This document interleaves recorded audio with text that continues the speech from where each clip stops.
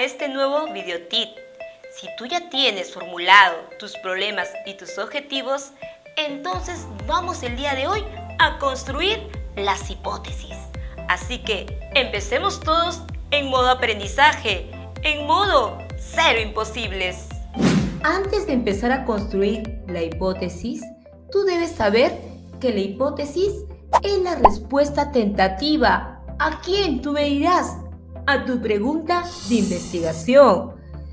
Es decir, es lo que tú crees que vas a encontrar en tu estudio. Por ello, se definen como proposiciones sujetas a comprobación, que pueden ser verdaderas o tal vez falsas.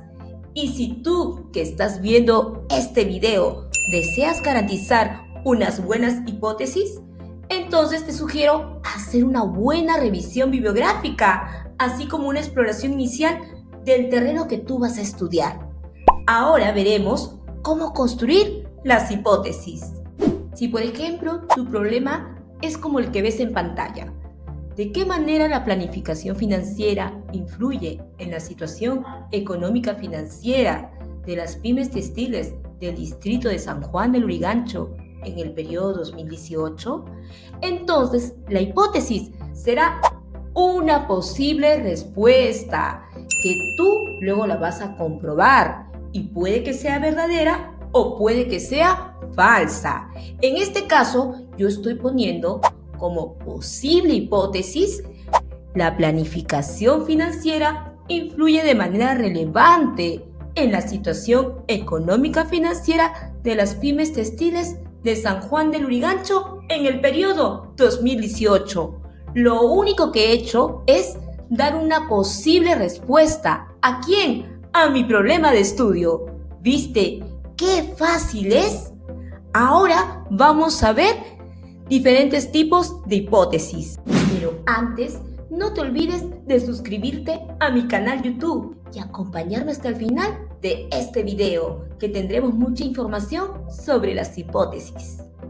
Bien chicos, tal como ves en pantalla, existen básicamente tres tipos de hipótesis.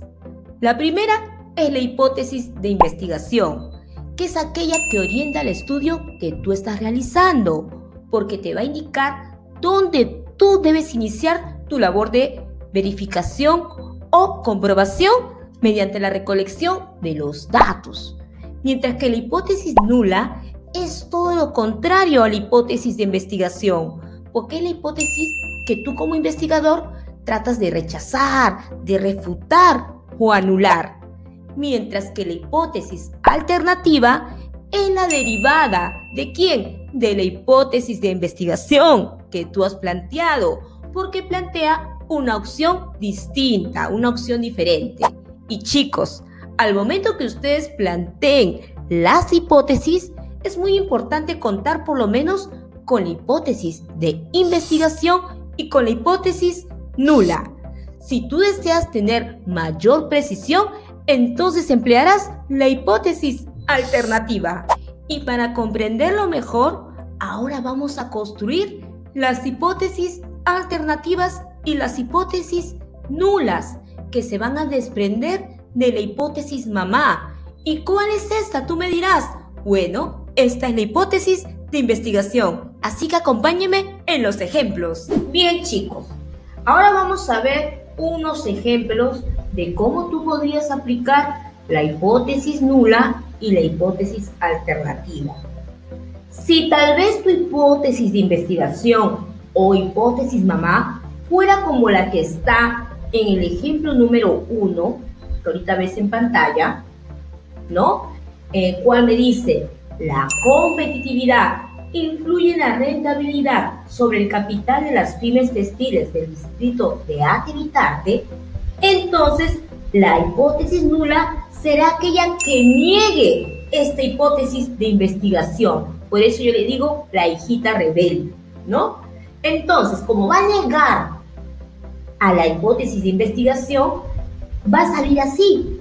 La competitividad no influye en la rentabilidad sobre el capital de las pymes textiles del distrito de Activitarte. ¿Viste qué fácil es? ¿Viste que la hipótesis nula es como la hija rebelde de la hipótesis de investigación? En este caso ves que niega todo lo que ella supone, mientras que la hipótesis alternativa es aquella hipótesis que ofrece una opción distinta a la hipótesis mamá, pero no le da la contraria al 100%. ¿Cómo es eso? Mira el ejemplo. La competitividad influye de forma positiva y lo he resaltado ahí para que te des cuenta lo que le he agregado para que le genere la diferencia. La competitividad influye de forma positiva en la rentabilidad sobre el capital de las pymes textiles de distrito de Atentado. Por eso, muchachos, yo digo que la hipótesis de investigación es la hipótesis mamá. Y de esta hipótesis mamá se van a desprender las hijitas, que son la hipótesis nula y la hipótesis alternativa. La hipótesis nula siempre va a negar lo que supone la mamá, por eso es la hijita rebelde. Mientras que la hipótesis alternativa va a ofrecer una opción distinta a la de su mamá, pero no le da al 100% la contraria. Ahora, si aún no te ha quedado claro, vamos a ver el ejemplo 2. Si la hipótesis mamá o hipótesis de investigación es el otorgamiento de una bonificación en dinero a los obreros incidirá en un aumento de la producción. Es lo que me dice. Entonces, voy a negar esta hipótesis para obtener qué cosa? La hipótesis nula. Por eso le pongo lo siguiente. El otorgamiento de una bonificación en dinero a los obreros no incidirá, le agregué el no, no incidirá en un aumento de la producción.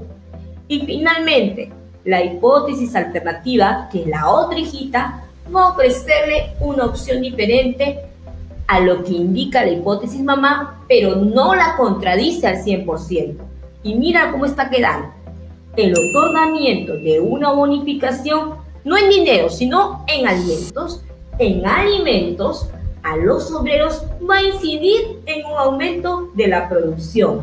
Los cambios que he hecho en las hijitas, que son la hipótesis nula y la hipótesis alternativa, lo he resaltado con amarillo para que te puedas dar cuenta las pequeñas diferencias que tienen respecto a la hipótesis de investigación, que es la hipótesis mamá. Y tú me preguntarás, ¿y en dónde puedo desarrollar las hipótesis? Y eso es lo que veremos a continuación. Pero antes, no te olvides de acompañarme hasta el final de este video y suscribirte a mi canal YouTube. ¿Y dónde debo desarrollar las hipótesis? Tú te preguntarás.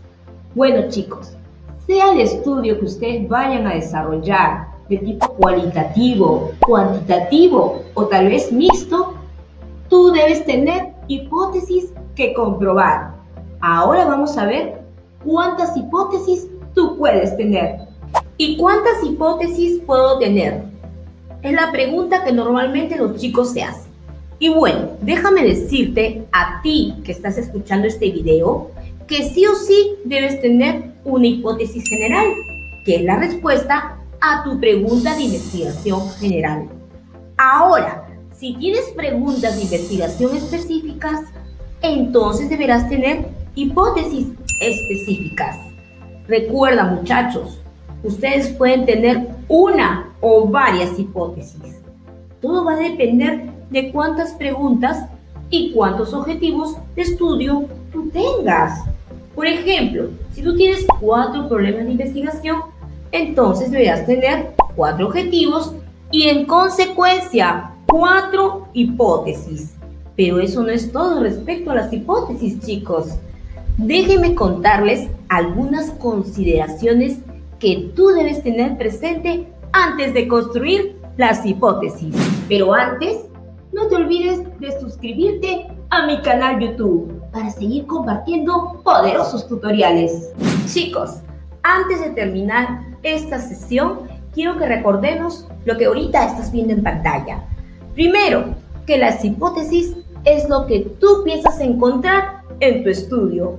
Por ende, son proposiciones afirmativas. Segundo, que las hipótesis necesariamente no van a ser verdaderas, ¿ah? Pueden ser falsas. Tercero, que se apruebe o se rechace la hipótesis, tu investigación es válida, muchachos. ¿Por qué? Tú me dirás, porque estás aportando conocimiento. Cuarto, nunca te vayas a olvidar del principio de coherencia al momento de construir tus hipótesis.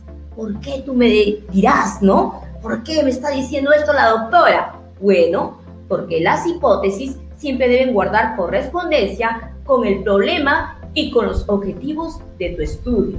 Porque si tú tienes tres problemas, entonces debes tener tres objetivos y por ende tres hipótesis. Y ellos se deben visualizar ¿dónde? En la matriz de consistencia.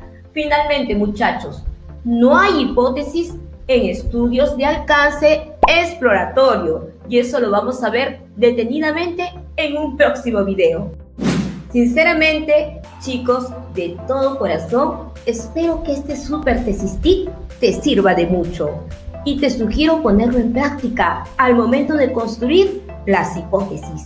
Ahora, si te gustó la información, te invito a darle un like a este video y activar la campanita para que puedas estar atento a nuestros próximos tutoriales y así caminar juntos hacia el éxito.